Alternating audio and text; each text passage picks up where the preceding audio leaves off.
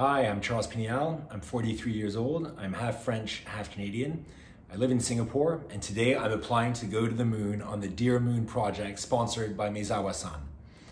I've been very lucky to live and travel in a lot of amazing places, but I'm most excited about the opportunity to travel to the moon and back on the Starship rocket by SpaceX. One of my passions in life is literature, and I love sharing great books with my Instagram followers. I think reading is something that allows us to discover new worlds, meet new people, and feel a lot of excitement. And in that sense, it's quite similar to space travel.